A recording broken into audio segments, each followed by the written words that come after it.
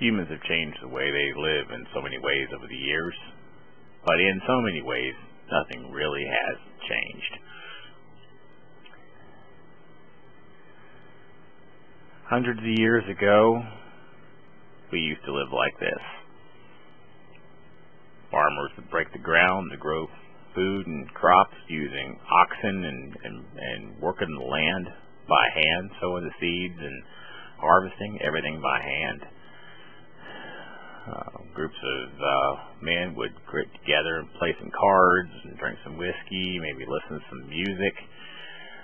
Um, you know, there's many a story came out of uh, this pastime. For the people who had uh, maybe a little bit more money there, you have the man reading the book using his mind to take an adventure from his chair there. Uh, again, for people with a little bit more money, they have their own private entertainment within their own home, where we see a man here listening to a woman play a harpsichord. Uh, this would have been edge of your seat entertainment for the time. Women, pretty much, they were in the house.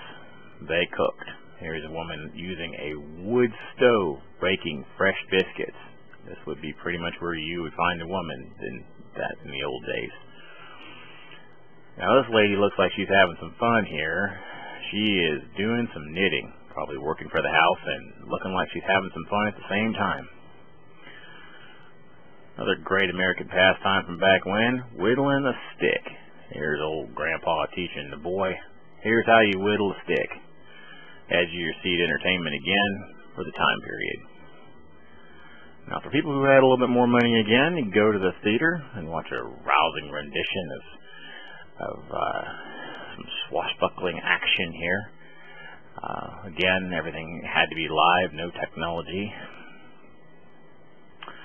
Then you had your family dinner or friends over where the main entertainment again was just uh, people talking about their day or or maybe uh, some politics of what's going on in this day and age.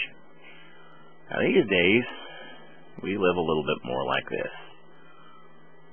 Uh, here's our farmer now. He's still breaking the ground, but look, he's in a tractor. He's got GPS planning, he's got air conditioning, he's got a radio, and he's probably got a lot of buttons. He has no idea what they even do.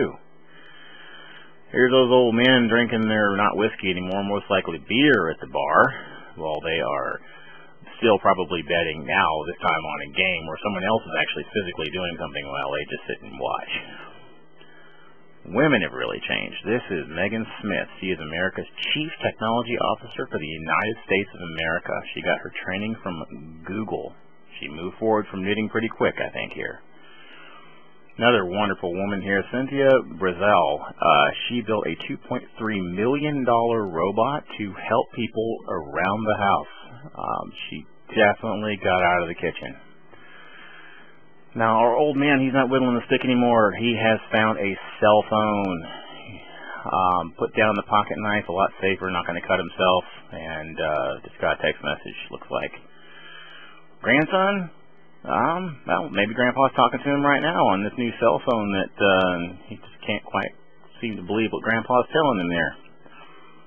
The old man with the book and the chair, well, he's still there. There's his electronic book sitting in the chair. It just happens to be that his chair is floating up in the sky now. Here's our family dinner.